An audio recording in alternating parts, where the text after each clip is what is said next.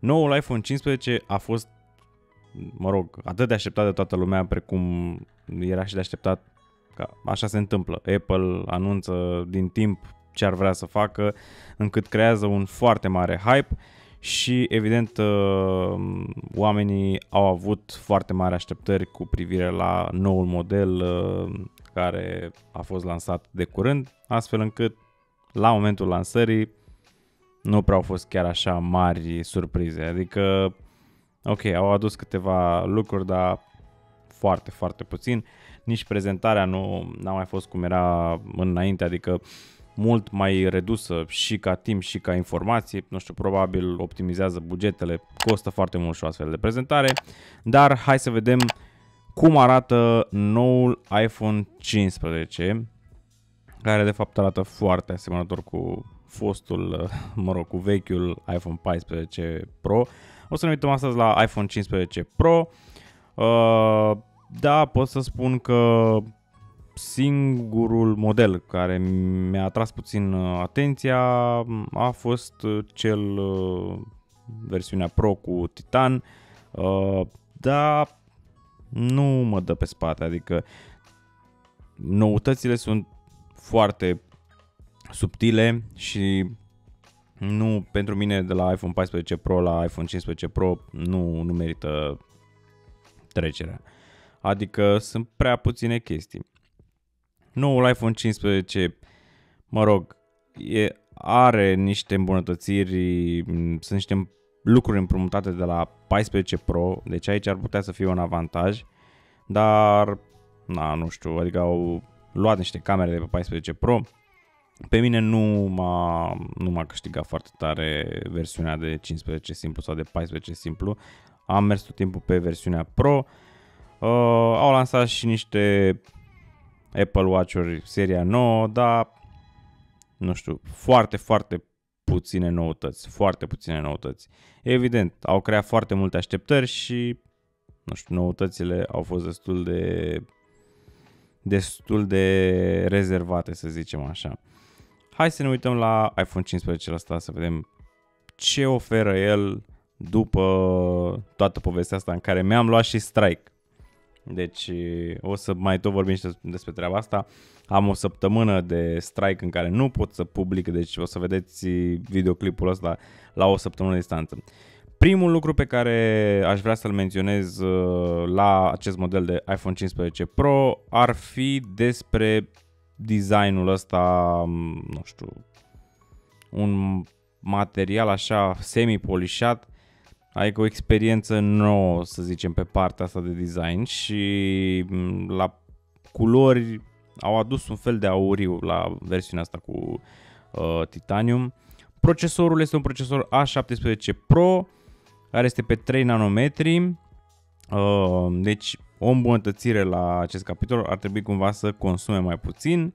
Um, ar fi o diferență, se pare că de data asta 15 Pro Max ar avea niște uh, lucruri diferite față de versiunea Pro simplă. Butonul ăsta din stânga de lângă volum, care până acum eram obișnuit să fie cel care uh, punea telefonul pe silent, în momentul ăsta poate prelua niște funcții prestabilite în funcție de user ce vrea să facă cu el, un fel de shortcut button.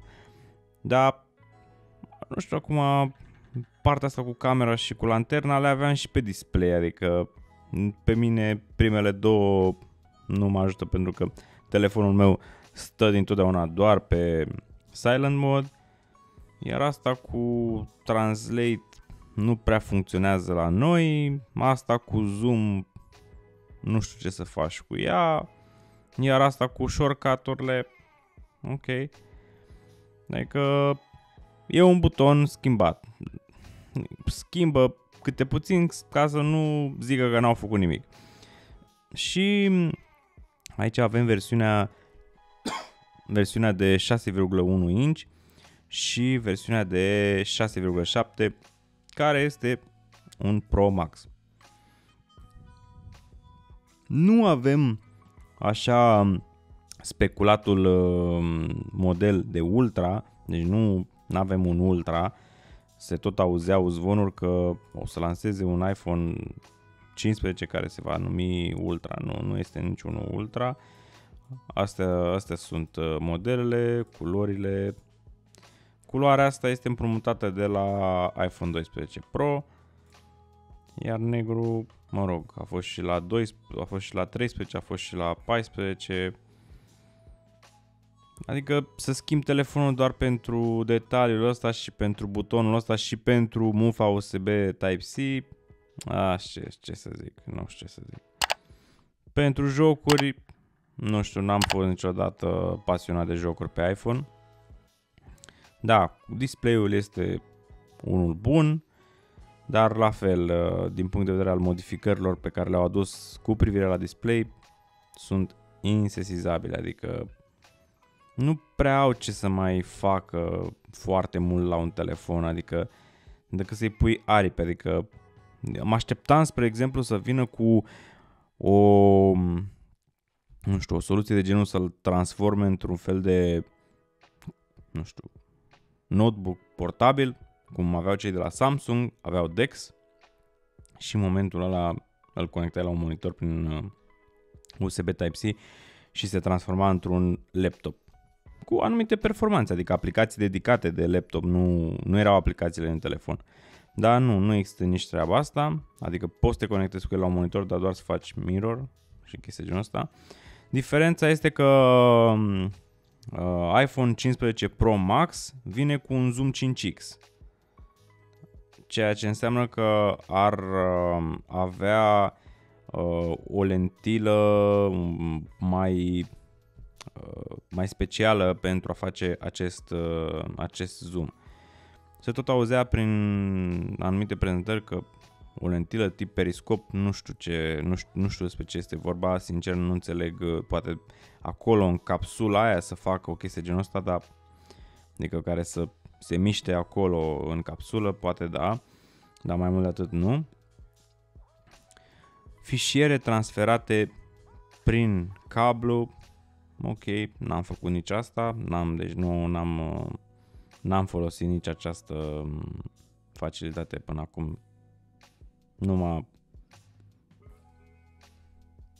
airdrop și cu um, cloud. Avem pentru Pro Max 29 de ore și pentru versiunea Pro 23 de ore. Acum, treaba asta este o chestie de laborator și nu trebuie să vă faceți atât de mari așteptări că fix așa vor rămâne cifrele astea. Aici este vorba, nu mai știu cine a zis.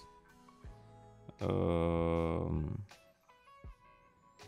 Vico de la Darwin a zis uh, o chestie că fie, mă rog, durata de viață a bateriei sau autonomia bateriei este cel mai bine testat într-o zi de vacanță. Tu că atunci stai cel mai mult pe telefon și... Na. Nu știu dacă mai vine cu cablu în cutie, deci nu știu treaba asta, poate aflăm acum pentru că e prima dată că mă uit și pe site-ul lor. Uh, s-ar putea să trebuiască să fie cumpărate separat aceste accesorii, dar nu știu, o să mă uit. Uh, o să mă uit să vedem dacă mai au și cablu în... Acum uh, iPhone 15 preia, deci versiunea simplă preia procesorul de la iPhone 14 Pro. Adică iPhone 15 poate fi un best deal dacă nu vrei, nu știu, să te duci atât de departe cu partea de foto-video, adică dacă vrei să folosești uh, mai, mai mult ca un smartphone pe care să te bazezi, da, este. Dacă vrei să folosești pentru multimedia, iarăși trebuie să mergi pe Pro. La prețuri avem următoarele prețuri. Pentru 15 Pro avem 1000 de dolari la ei acolo și la noi probabil o să vină la 1200. Asta înseamnă vreo 6000, 6500 de lei. Versiunea cu 256 pentru că de acolo pleacă stocarea minimă, nu mai există 128 uh, din ce m-am uitat. Iar pentru iPhone 15 Pro Max pleacă direct la 1200, asta înseamnă că la noi o să fie pe la 1500, 1400, cam așa. Că, na, așa se întâmplă. Și avem aici, hai să ne uităm, hai să facem selecția pentru unul dintre ele. Hai să alegem o culoare. A, ba da, avem la 15 Pro, avem tot de la 128. Deci cel de 128 este 1000 de dolari. Nu știu ce am memorat că nu mai avem. Poate la 15 Pro Max. Da, la 15 Pro Max pleacă de la 256. Păi dacă Pro Max e 256 e 1200. 256 Pro simplu e 1100, adică diferența e de 100 de dolari. Ba da, o să fie și cablu în cutie, primul lor cablu USB Type-C. Mulți au așteptat foarte, foarte nerăbdători această schimbare cu uh, USB-ul Type-C, dar nu știu, pe mine nu, nu m-am împiedicat uh, absolut deloc să-mi desfășor activitățile în lipsa acestui USB Type-C. Deci n-am avut niciun fel de problemă. Astea sunt prețurile pentru America. În rest, noutăți pentru iPhone 15 Pro, cea mai mare noutate din punctul meu de vedere ar fi uh, schimbarea acestei mufe de USB Type-C. Cam astea au fost noutățile cele mai relevante, cele mai importante de la Apple pentru iPhone 15. Schimbarea unei mufe și schimbarea unui buton.